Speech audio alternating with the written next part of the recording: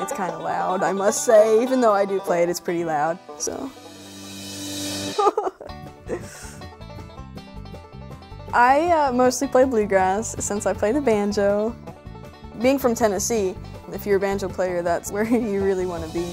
Welcome to the Country Music Hall of Fame and Museum. You can't really be sad and play the banjo, and I think that that translates with people. Although it talks about a lot of heavy things, it's usually pretty happy music.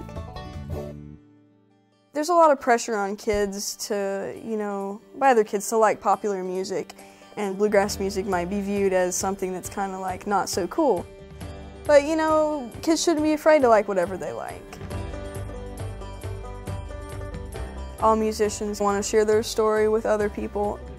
You can walk down the street and you can hear people playing and you look at them and they look at you and you've made that connection with people, you know, and that's truly something special.